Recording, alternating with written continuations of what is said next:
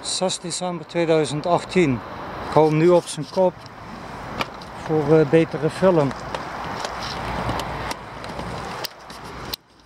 Met Olympus in 4K gefilmd.